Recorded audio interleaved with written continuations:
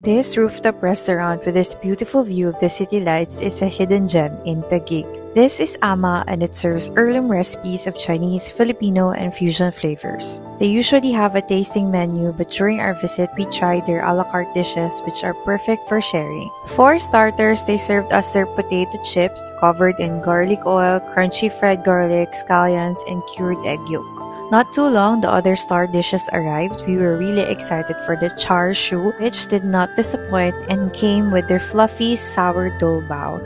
And we also loved their patatim. We were both amused with how big their siomai is and impressed because it's not just a show off, it was meaty and packed with flavors. We also had soy chicken, chow fan, and their delicious American ribeye steak with rice. To cap it all off, we enjoyed two desserts, their mais con and chocolate brownie, which were both very good. If you think this is in BGC, you're wrong because it's inside a quiet village in Taguig, so you have a peaceful and relaxing meal with your loved ones.